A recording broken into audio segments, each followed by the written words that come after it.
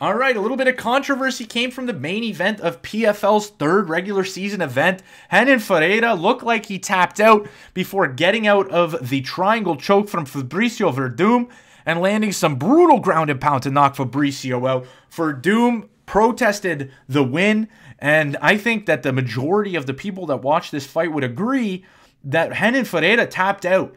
Uh, I'll let you guys see the tap and you guys can decide if it was a tap or not or if you saw the fight. This comment section, I want this comment section to be 100% discussion about this event. I already did a results video, so make sure you guys go check that out. But did he tap out? What's your opinion? And do you think Fabricio Werdum should be rewarded a no contest?